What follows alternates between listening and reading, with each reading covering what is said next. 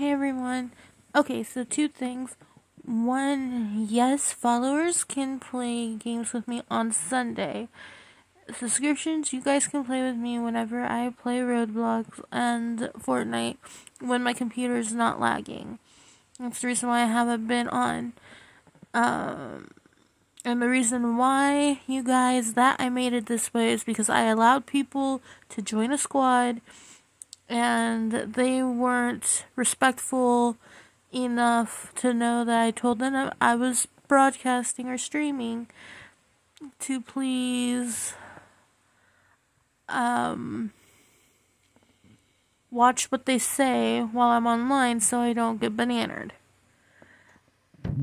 Now, that's the reason why I chose Sunday for you guys to play. And also because my my computer's been lagging and I had, you know, can't deal with that. The computer. And I've always had computer problems. Okay, secondly, you guys, um, I keep on getting comments about my playing style, about me playing as a bot. Okay, first of all, you guys, it's just how I am. It's how I'm comfortable playing. Um,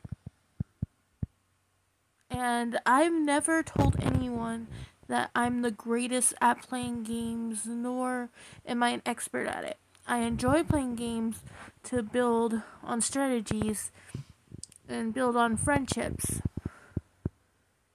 and to actually help each other and to create a positive space and vibe for everyone. So, games are for everyone, and this is supposed to be a room where there's no judgment and positivity. And, you know, this question on people saying that I'm a bot, a, a few times I've always got that question or statement from people, and that is not true.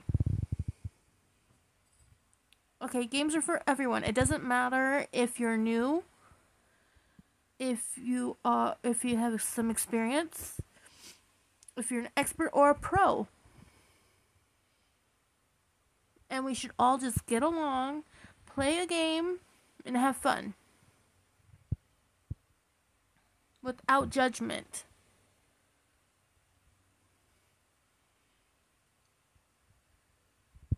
So that's why I want to create a spaces for everyone.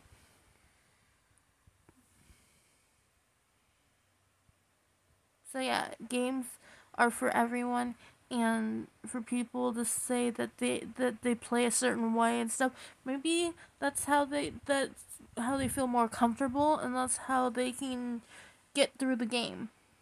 So you don't know what's going on with people and if they're going through it uh, going through something and sometimes a game is also a great escape from that.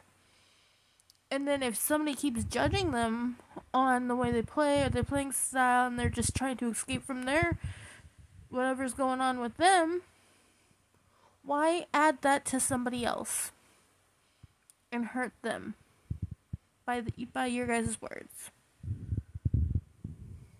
So come on, let's just get along and create the friendships and build a positive community.